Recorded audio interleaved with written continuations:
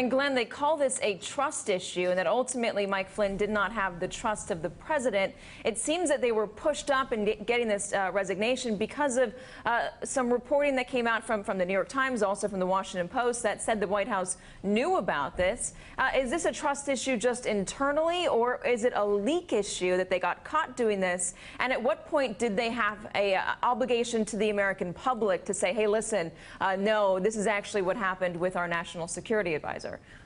I think the latter part. Look, I, I think that was a very sloppy, clearly hastily organized uh, time frame, uh, timeline that Sean Spicer came up with that, that has an awful lot of holes in it. Let me just point to a couple of factual issues here.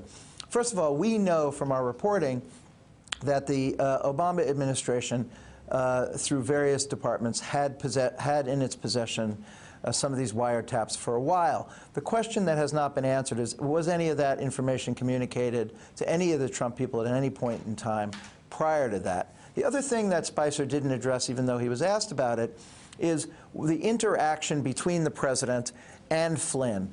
Did the president know and approve of what Flynn was doing? Spicer jumped over that. Another big contradiction. Spicer says they learned about uh, they learned about the, the existence of the transcript 17 days ago, but they were not able to determine that it was a breach of trust until now.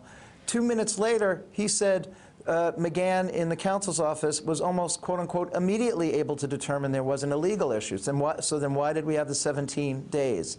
Uh, you know, and finally, and I think most importantly, the question is, uh, he said, Spicer said it was McGahn who determined that it was an issue of trust. He actually said that, that the counsel determined it was not a legal issue, but an issue of trust. White House counsels don't traffic in trust. They give legal opinions to presidents. So that is abrogating uh, some of that responsibility to the president. It is a very, very sloppy and implausible timeline, and I think it just begs a lot of questions and will require a lot of reporting. And one last thing. When Spicer comes on there and talks about leaks, it is entirely likely that General Flynn, who has done all of this stuff that is quite questionable and to some degree unprecedented, certainly in the early going, Without any of those leaks, the public wouldn't have known about any of this stuff. And it is quite likely that Mr. Flynn would, would have remained in office. That they could have just been biding their time and hoping for the news cycle to pass, potentially.